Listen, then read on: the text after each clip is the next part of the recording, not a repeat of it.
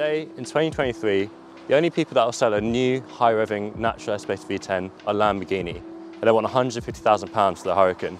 For that, you don't even get back seats. Instead, you can buy this, an E60 M5 with an 8,250 RPM V10, five seats, and a big boot.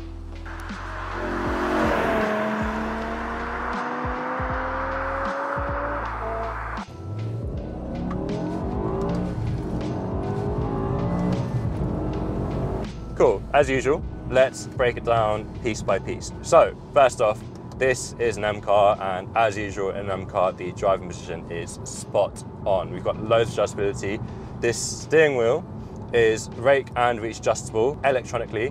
I've got all the adjustment I want. I've got the steering wheel pointing to my chest. I've got nice bent arms and my legs stretching out in front of me, which is exactly how I want to sit in a car like this. My seat goes nice and low, it is unbelievably comfy.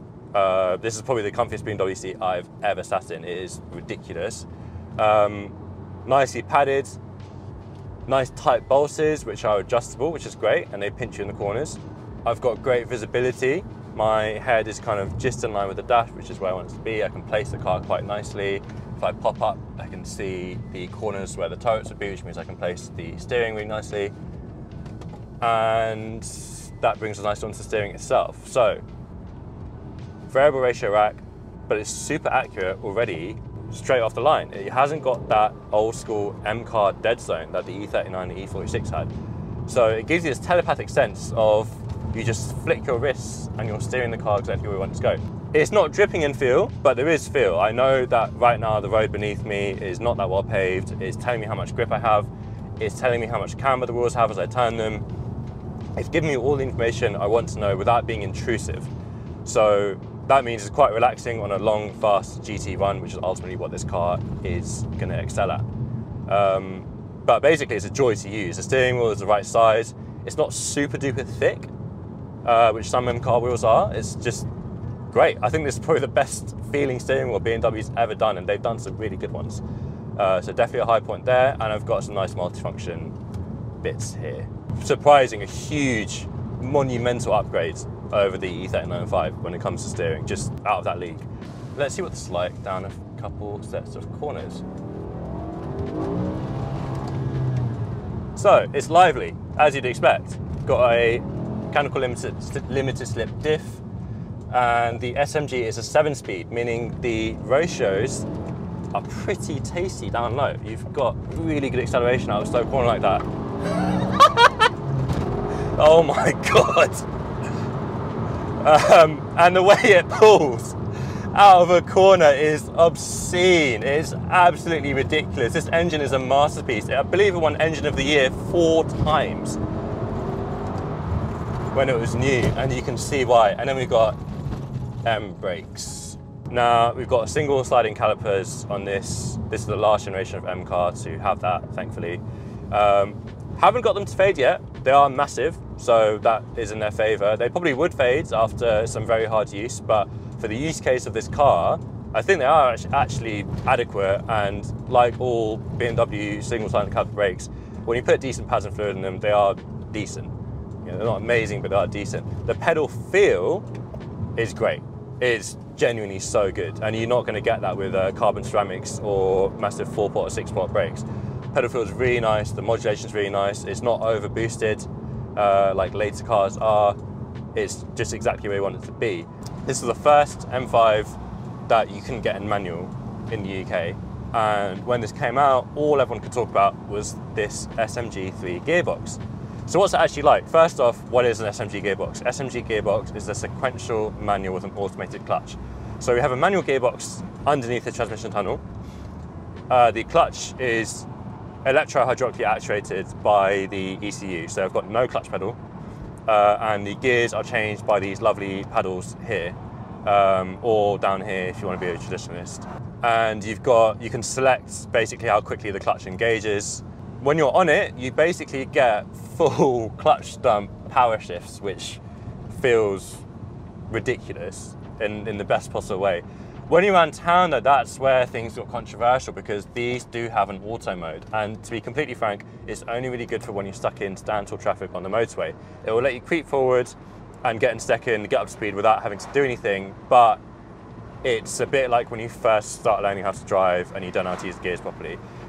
However, if you drive this in manual mode around town, it's just like using a manual gearbox, but you don't have to do the clutch. So it is actually a really nice compromise, in my opinion, um, because you can drive around town, you select your gears, you're in control, uh, far more so than you are with a traditional auto, but you don't need to bother doing a clutch. And when you just drive this normally and lift between gears, it's perfectly smooth. It's smoother than I would be in a manual car, especially considering how notchy uh, most manual gearbox BMWs are. So genuinely, if I had a choice between choosing this car, an E60 M5 in manual SMG, I would 100% go for SMG because I just don't see manual suiting a car this big. So let's talk about this engine.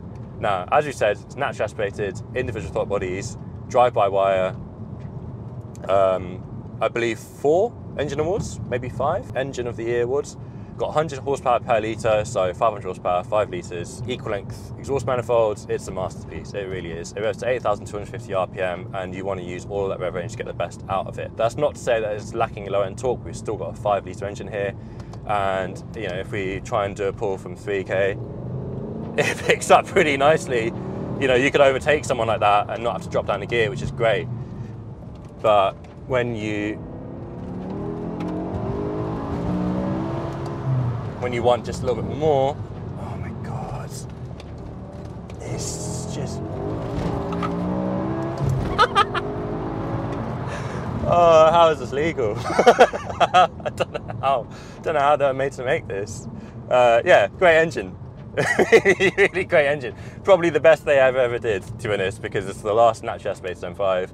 Um, and this generation of engine, because the S65 derived from this, was the last naturally aspirated engine that BMW um, developed. And you can tell that they really put that all into making this one. It must have cost an, you know, an absolutely obscene amount to do a ground up engine based on no other engine at all. You know, BMW didn't make a V8 or V10 in this format before, so they developed this engine solely for this car which is even crazy when you think about how limited the production of these were. I mean, they just didn't sell that many M5s ever of any generation. This is a very expensive, very exclusive car when it was new, especially compared to M3s, which obviously they just, you know, churned out and churned out. So props to BMW, I'm really glad they made this because it does some pretty amazing things.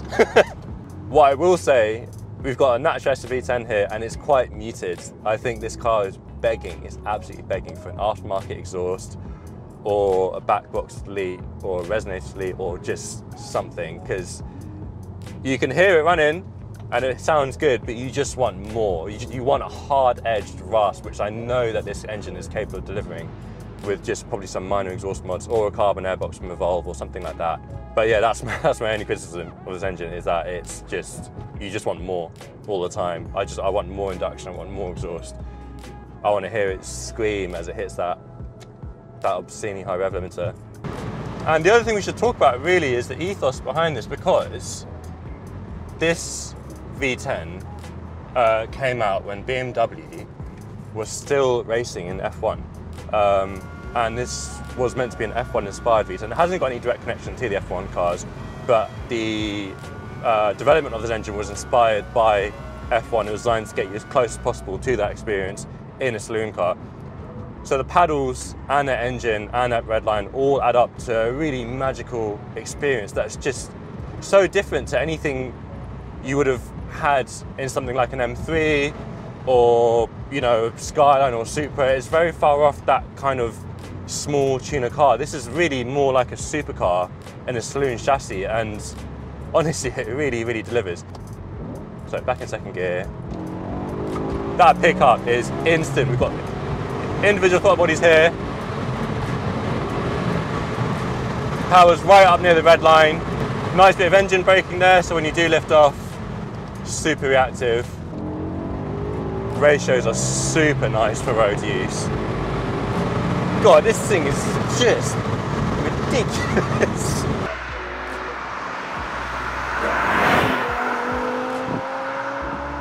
Now, we've spoken about E60 M5 as a whole, let's just talk about this specific one. So, Silverstone Blue, my opinion, best color for this. It looks almost like raw metal. I don't know if you guys remember when the E60 M5 concept came out. Um, I remember reading about it in Car Magazine way back then, and they did the concept in a very special uh, kind of three-stage uh, silver grey, and it gave this car that awesome look of just being milled out of one block of raw aluminium. And you combine that with the flame surfacing of the Bangle era cars, and it makes it a really nice, uh, really gorgeous looking car. Silverstone Blue, I believe, is an M exclusive color. So you see this, you know it's an M5, and I think it shows off the lines of these cars really well. Don't get me wrong, I love an E60 in a darker color like Interlagos Blue or Carbon Black or Sapphire Black or all that kind of stuff but I think these look absolutely gorgeous in a silver or, or silvery blue like Silverstone Blue or silver grey. I think those are really the colours for these cars. We've got the Diamond Cut 5 spoke 19s on this, great looking wheel. Got a sunroof, which is nice, suits the car. You wouldn't want an M3, but an M5 it does suit it. And we've got this gorgeous brushed aluminium trim, which uh, I remember from the E46M3 days, that's a facelift only option, super rare, super expensive, and super desirable now. Um, probably more common in the E60M5, but it's absolutely stunning. And it's actual aluminium, it's not plastic. Feels really nice, gives the car a great feel, and it suits this era of car where brushed aluminium was the craze. Everyone wanted it in their houses, on their worktops, all that kind of stuff. Black leather interior suits the feel of an M car, in my opinion. I think I would want this with a dark interior. Great stereo, obviously got iDrive being an M5. I believe with iDrive you can retrofit Apple CarPlay if you so desire and use the original OEM screen and all that kind of stuff. Overall, really nice place to be. Now we've just come through a town here, so I'll tell you what it's like to be in around town because ultimately this is a 5 Series with, you know, it's got a V10 engine but it is a 5 Series. First off, super comfy. We're on massive 19s here, but even on a rutted road like this, suspension just soaks it all up. We've got EDC, uh, which is a variable damper, so you can stiffen it up if you want a bit more body control. But to be honest, on UK roads, you're best off just leaving it in soft. You don't get much body roll, but we'll get onto that later. But around town, we've got the gearbox and manual, slowing to a stop here, I'll show you what it's like to set off in first. Just tap the accelerator, clutch engages, and we're off, just as usual. Stick it in second. If you can drive a manual gearbox, you can drive one of these with ease. You wouldn't know that it's had all of this controversy around the automatic mode and SMG around town, all that kind of stuff. The thing is, if you're buying this car in 2023, you're buying it partially as a character purchase. You know, you want that natural aspirated V10, and you want the whole experience of this generation of M. And the SMG is a very authentic way to experience this because this was the technology at the time. They had just come out with DCT in the uh, E92 M3, great gearbox, but this is this gives you that real old school sequential gearbox feel, which at the time was such an evocative concept, this idea that you can get to you know an F1 car or touring car and you've got a pneumatic sequential gearbox and it thumps you in the back when you shift and basically it feels special. Oh my god. It just it blows you away. I mean this is the level of body control and power that we have here is out of this world. It's so far away from what came before this well. The E395 was a great car, but in terms of sheer outright performance, this is unbelievably quicker. Those full pelt 10 tenths shifts at the red line are just they're obscene. They're absolutely ridiculous. They're one of the best things I've ever experienced behind the wheel. Honestly, it's unbelievable. They're entertainment in themselves. This is a car that can entertain you just doing a pull down a dual carriage with no corners. When you do get corners, you realise that as much as this is a saloon that you could commute in, this really is a sports car underneath. It's, a, it's actually a full-on supercar. It's absolutely insane. The body control and the brakes and the steering give you the, it just it just eggs you on so much. So I'll show you a little bit here. We've got a nice twist section bit of road. We've got everything off here, full fat, SMG at max speed, loads of traction, get the nose tucked into a corner, feed the power in. Oh my God.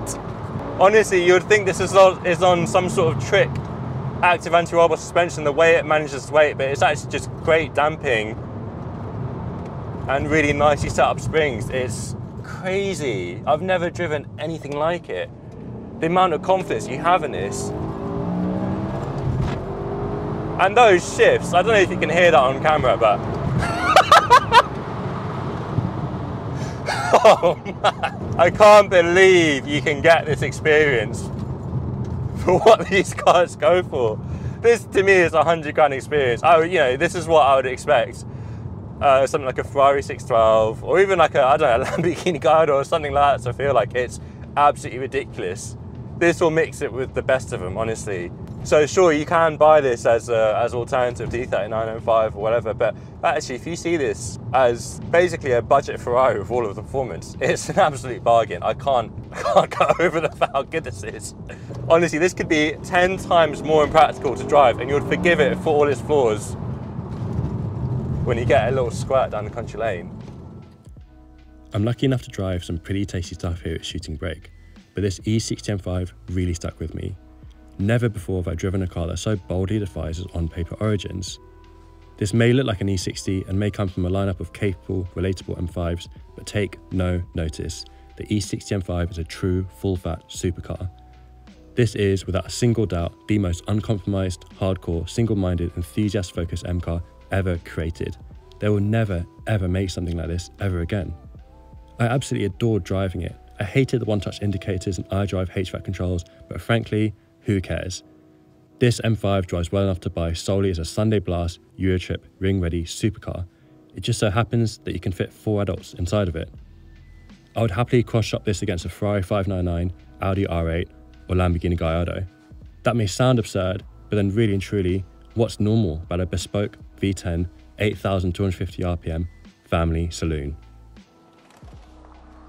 You fancy supercar performance for tenth of the cost, this gorgeous Silverstone Blue E60 M5 is definitely the car for you. It's coming live to Shooting Brake on auction. With over 100 detailed photographs and a comprehensive description, buyers can bid in confidence and after a couple of clicks you can get this very car on your driveway.